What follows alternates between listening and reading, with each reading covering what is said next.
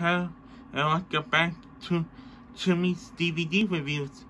Today we gonna be reviewing Show the cover. Bugs Bunny and Funny Jimmy, show the cover.